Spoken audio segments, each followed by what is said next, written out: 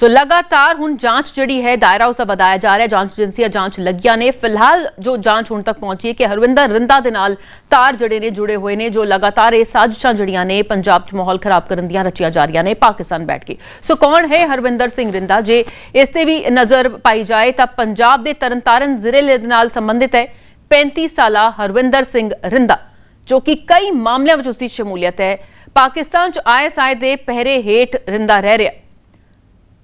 ਸੋ ਦੱਸਦੀ ਕਿ ਪਾਕਿਸਤਾਨ ਚ ਆਈਐਸਆਈ ਦੇ ਪਹਿਰੇ ਹੇਠੋਂ ਰਹਿ ਰਿਹਾ ਪਿਛਲੇ ਸਾਲ ਨਵੰਬਰ ਚ ਨਵਾਂ ਸ਼ਹਿਰ ਦੇ ਸੀਆਈਏ ਥਾਣੇ ਤੇ ਬੰਬ ਧਮਾਕਾ ਕਰਾਉਣ ਦੇ ਵਿੱਚ ਵੀ ਹਰਵਿੰਦਰ ਰਿੰਦਾ ਸ਼ਾਮਿਲ ਸੀ। ਚਾਰ ਕਤਲ ਦੇ ਮਾਮਲਿਆਂ ਵਿੱਚ ਲੁੜੀਂਦੇ ਰਿੰਦਾ ਨੂੰ ਚੰਡੀਗੜ੍ਹ ਪੁਲਿਸ ਨੇ ਪਗੌੜਾ ਐਲਾਨਿਆ ਹੋਇਆ ਸੋ ਕਈ ਵਾਰਦਾਤਾਂ ਵਿੱਚ ਉਹ ਸ਼ਾਮਿਲ ਹੈ। ਪੰਜਾਬ ਯੂਨੀਵਰਸਿਟੀ ਦੀ ਸਟੂਡੈਂਟ ਸਿਆਸਤ ਵਿੱਚ ਵੀ ਰਿੰਦਾ ਖਾਸਾ ਸਰਗਰਮ ਰਿਹਾ 2016 ਵਿੱਚ ਪੰਜਾਬ ਯੂਨੀਵਰਸਿਟੀ ਵਿੱਚ ਫਾਇਰਿੰਗ ਦੀ ਵਾਰਦਾਤ ਨੂੰ ਹਰਵਿੰਦਰ ਰਿੰਦਾ ਵੱਲੋਂ ਅੰਜਾਮ ਦਿੱਤਾ ਗਿਆ ਸੀ। ਚੰਡੀਗੜ੍ਹ ਦੇ ਸੈਕਟਰ 11 ਥਾਣੇ ਦੇ ਐਸਐਚਓ ਨਰਿੰਦਰ ਪਟਿਆਲ ਨੂੰ ਕਤਲ ਕਰਨ ਦੀ ਨਾਕਾਮ ਸਾਜ਼ਿਸ਼ ਵੀ ਹਰਵਿੰਦਰ ਰਿੰਦਾ ਵੱਲੋਂ ਰਚੀ ਗਈ ਸੀ। ਸੋ ਇਹ ਕਈ ਮਾਮਲੇ ਨੇ, ਜਿਸ ਵਿੱਚ ਉਸ ਦੀ ਸ਼ਮੂਲੀਅਤ ਹੈ। 2018 ਚ ਪੰਜਾਬੀ ਗਾਇਕ ਪਰਮੇਸ਼ ਵਰਮਾ ਤੇ ਕਾਤਲਾਨਾ ਹਮਲੇ 'ਚ ਗੈਂਗਸਟਰ ਦਿਲਪ੍ਰੀਤ ਬਾਬਾ ਦੇ ਨਾਲ ਹਰਵਿੰਦਰ ਰਿੰਦਾ ਵੀ ਸ਼ਾਮਿਲ ਸੀ। ਸੋ 11 ਸਾਲ ਦੀ ਉਮਰ 'ਚ ਪੰਜਾਬ ਤੋਂ ਪਰਿਵਾਰ ਦੇ ਨਾਲ ਨਾਂਦੇੜ ਸ਼ਿਫਟ ਹੋ ਗਿਆ ਸੀ ਹਰਵਿੰਦਰ ਰਿੰਦਾ।